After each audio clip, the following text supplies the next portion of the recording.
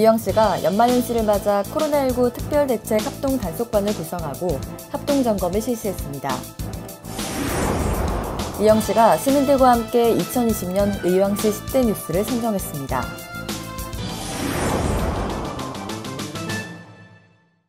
안녕하세요. 의왕시 시정뉴스 정혜란입니다. 의왕시가 보건복지부 주관으로 열린 2020년 기초생활보장 분야 평가에서 3년 연속 우수 지자체로 선정되는 영광을 안았습니다. 의왕시는 이번 평가에서 신규 수급자 발굴 실적과 기초 생활보장급여 예산 집행 실적, 긴급복지 집행 실적 등에서 우수한 성과를 거두며 복지 사각지대 해소를 위한 노력 등을 인정받았습니다. 앞으로도 어려운 이웃을 기꺼이 보듬어 안는 따뜻한 복지도시로 거듭나는 의령시가 되길 기대합니다.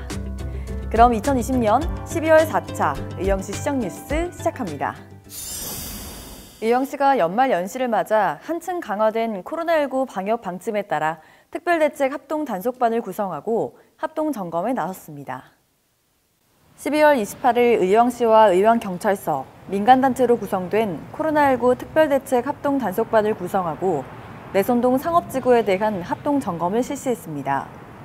특히 이번 점검은 정부의 연말연시 방역 강화 특별 대책에 따라 방역 수칙이 대폭 강화된 고위험 시설과 다중이용 시설을 대상으로 실시된 것으로 단속반은 집합금지를 비롯한 주요 의무 이행 사항을 집중적으로 살펴보는 시간을 가졌습니다. 또한 현장 점검과 더불어 강화된 방역 지침에 대한 홍보도 함께 진행해 시민들의 안내를 도왔습니다. 의왕시는 특별 점검을 통해 방역 수칙 준수를 지도하고 의무 위반자에 대해 300만 원 이하의 벌금 또는 과태료를 부과할 방침입니다. 이어서 의왕 시와 우리 시민들이 함께 꼽은 2020년 의왕시 10대 뉴스를 전해드립니다. 코로나19로 모두가 힘든 한 해였습니다.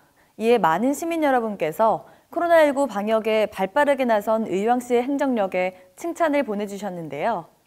의왕시는 손소독제 및 예방 안내문 배부, 방역장비 대여 서비스와 같은 방역물품 지원은 물론 분야별 지원 사업과 긴급복지 제공 등의 경제 방역도 함께 추진해 왔습니다. 2020년 의왕시 10대 뉴스 두 번째는 우리 의왕시가 지방자치단체 평가에서 안전 분야 부문 전국 1위를 달성했다는 소식입니다.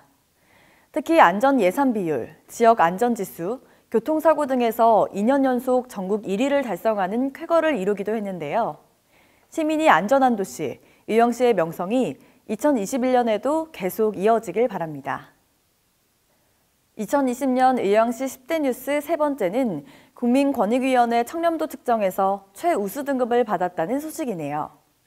공공기관 580개 기관을 대상으로 조사한 결과에서 의왕시가 3년 연속 국민권익위원회 내 외부평가 2등급을 유지했는데요. 2021년에는 1등급 노려봐도 될까요? 네 번째 소식은 의왕역 에스컬레이터 개통입니다. 역 광장에서 매표소까지 총 8대의 에스컬레이터가 설치됐는데요. 덕분에 어르신, 장애인은 물론 다양한 의왕 시민들이 보다 편리하게 의왕역을 이용할 수 있게 됐습니다. 다섯 번째 소식은 무엇일까요? 네, 아동 돌봄 인프라 구축입니다. 2020년 의왕시는 아동 친화도시로 거듭나기 위해서 아동 친화도시 조례 제정으로 제도적 기반을 다지는 한편 관내 50여 개의 어린이 놀이터를 대상으로 환경 진단 등을 실시해 보다 안전한 환경을 구축했습니다. 2020년 의왕시 10대 뉴스 여섯 번째 소식은 국토교통부가 추진한 스마트시티 통합 플랫폼 구축 대상지 선정입니다. 이에 의왕시는 총 12억 원의 사업비를 확보하고 교통, 방범, 환경 분야에서 다양한 정보 시스템을 연계한 스마트 도시 안정망을 구축하며 안전하고 깨끗한 도시로 거듭나게 됐습니다. 다음 소식은 오봉산 둘레길, 청계산 누리길 조성 소식이네요. 오봉산과 청계산에 시민 누구나 자연을 느낄 수 있도록 아름다운 산책길이 조성됐죠. 2021년에는 시민들이 마음껏 산책을 누릴 수 있는 시간이 꼭 돌아오길 바랍니다. 2020년 의왕시 10대 뉴스 여덟 번째 소식은 의왕 청년 이룸 걸랩입니다.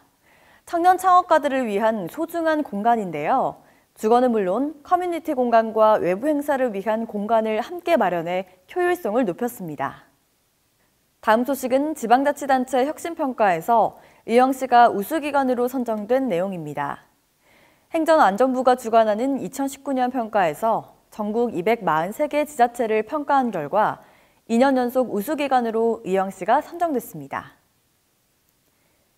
2020년 의왕시 10대 뉴스 마지막 소식은 의왕 테크노파크 준공입니다. 의왕시 최초의 산업단지인 의왕 테크노파크는 400여 개의 기업이 모여서 3천여 개의 일자리 창출, 약 4천억 원의 경제적 파급 효과가 기대되고 있습니다.